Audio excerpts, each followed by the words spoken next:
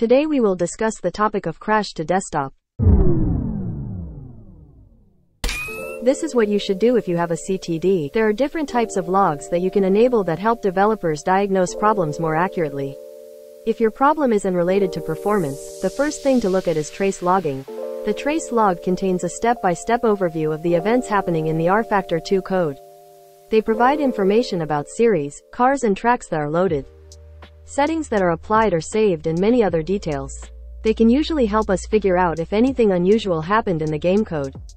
As they usually also record error conditions or other issues that we can spot. They are useful in situations where the sim doesn't do what you expect it to or even crashes.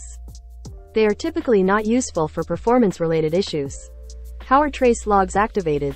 Trace logging is enabled via a command line argument. The command line arguments are set in your Steam client before launch. You right-click on rFactor 2 in your library and select the Properties option from the context menu.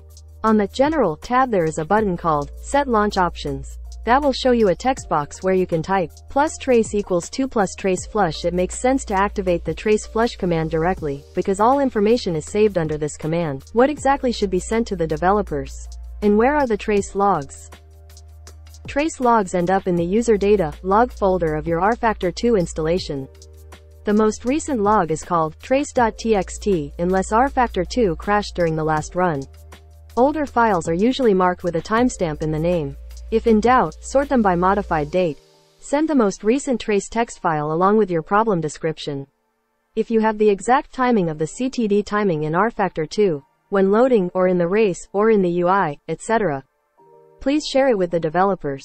This saves the developers a lot of time looking for the problem to find a quick fix for you. Furthermore, it is advisable to send the minidump file, which is created immediately after a CTD by rFactor 2, to the developer. For where to find this file, please refer to tutorial 6 easy solutions to solve problems in rFactor 2. The video is linked in the description. If the files are too big to post directly in Discord, pack the files e.g. with RAR and upload the files e.g. with Google Drive and send the link to the developers in the official Discord support channel, or in the official Factor 2 forum. The links to the official Discord channel and rFactor 2 forum can be found in the description below this video. You can reach the developers there 24 hours a day, 7 days a week. I hope the tutorial was helpful for you. Don't forget to like and share the video. I wish you a lot of fun with rFactor 2.